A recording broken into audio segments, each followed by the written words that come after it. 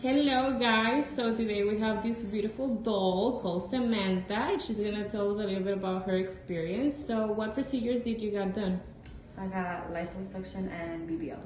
And how was your experience?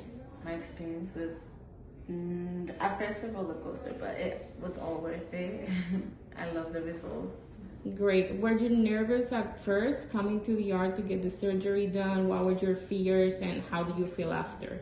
No, I wasn't nervous at first. Um, it was like right after. I was a bit scared because I was just like, oh my god, how am I gonna handle all this? But it was like everyone's help, like just it just ran smoothly. Great. And what would you say to the girls that are still, you know, nervous or thinking of getting the procedure done?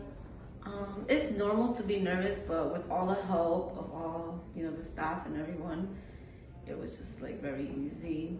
It's not gonna be bad as what you think. Great. Anything else that you would like to say to the people that are looking at you or? Um, Dr. Medina is a very great doctor and her staff is very well, so you'll be well taken care of. That's it. Thank you so much, Samantha.